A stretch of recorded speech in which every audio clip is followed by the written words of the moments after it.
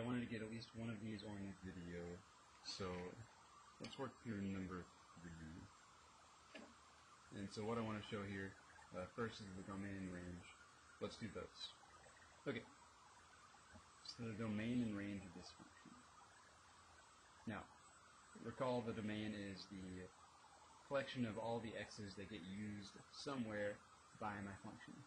So the furthest left x value that gets used would be this x value right here, and that is negative 1, 2, 3, 4, 5. That is negative 6. So our domain is going to start at negative 6, and we'll include negative 6 because that is a closed-in dot.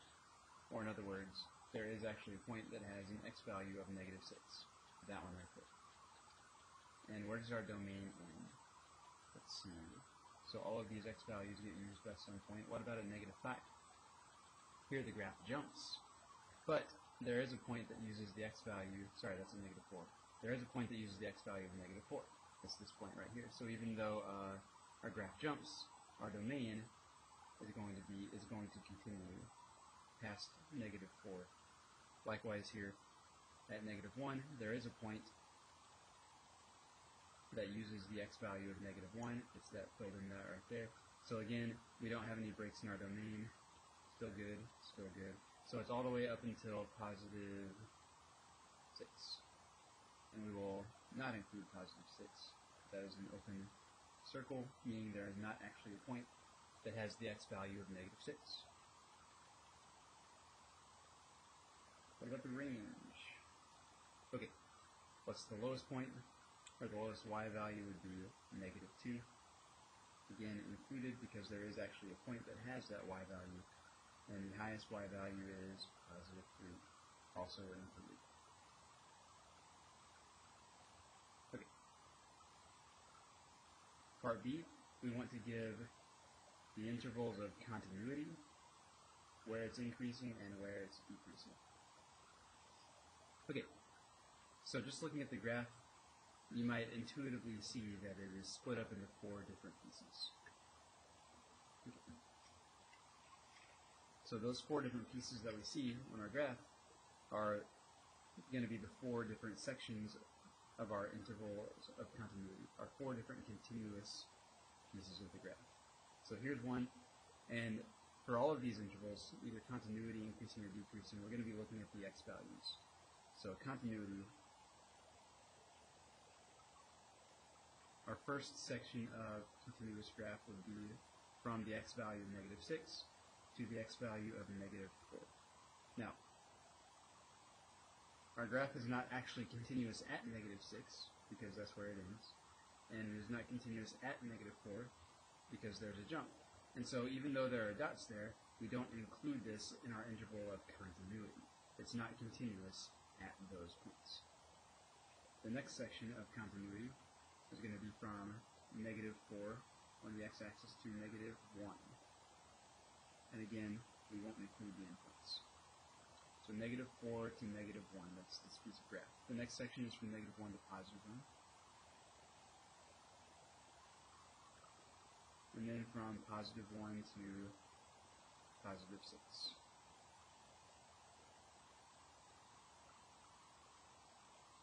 Okay, that's continuity. Next, where is our function increasing?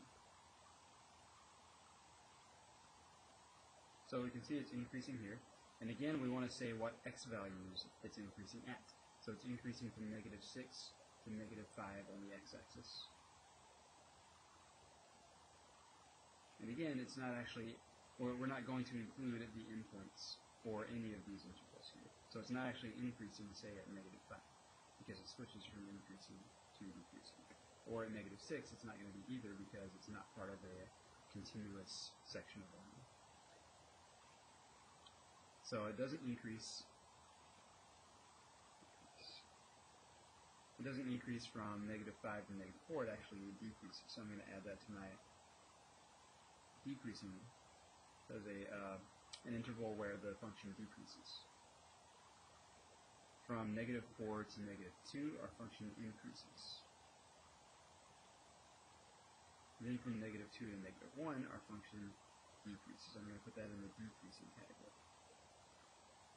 From negative 1 to positive 1 on the x-axis, our function increases. And then from positive 1 to 5, our function will decrease. And then from 5 to 6, the function increases. Okay. Next, and finally, we want to look for any relative or absolute maxes or mins. So part C, do we have any relative mins or relative maxes? And then we'll look at absolutes. So remember a relative min is going to be like, I'm sorry, a relative max is going to be like the top of a hill. A relative min is going to be at the bottom of a valley. So here's a relative max. Again, it has to be part of a continuous interval, and it has to be where the function switches from increasing to decreasing, like so. So there's one. And here, um,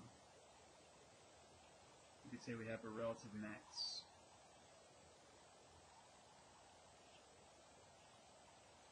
at the point. And so we're going to give the coordinates here. So that's at negative 5, 1. That's not an interval. That Those are the coordinates of the point. Do we have another relative max? Yeah, here's one. And that is at points negative 2, 3.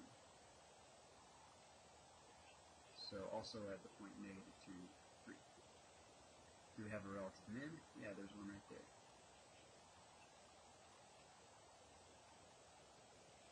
So the relative min would be at 5, negative 2. That's the point. 5, negative 2. And the others, this would not be a relative min because it's not on a continuous interval, same as this.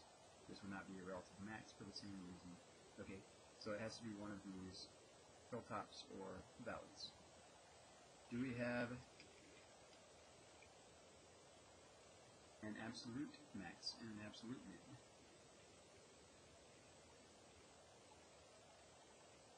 In this case, we do. So what is the highest point anywhere on the graph? It is this point right here. So it's it's at a y value of 3 that's higher than the rest of the graph. And so this occurs at the points point negative 2, 3. That also happened to be a relative min, that's okay. Sorry, a relative max. Do we have an absolute minimum?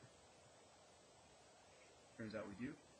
And that was this point 5, negative